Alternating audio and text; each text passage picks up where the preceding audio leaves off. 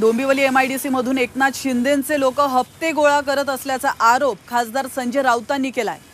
तर आपण पाहतोय डोंबिवलीतील एमआयडीसी कंपनीला आग लागलेली आहे आणि त्यानंतर आता राजकारण देखील यावरून सुरू झालेलं आहे. डोंबिवली एम एमआयडीसी मधून एकनाथ शिंदेचे लोक हप्ते गोळा करत असल्याचा आरोप खासदार संजय राऊतांनी केला. सगळ्या एम आय डी सी मधून शिंदे सेनेचे लोक किती हप्ते गोळा करतात? त्याचे आकडे आता द्यावे लागतात.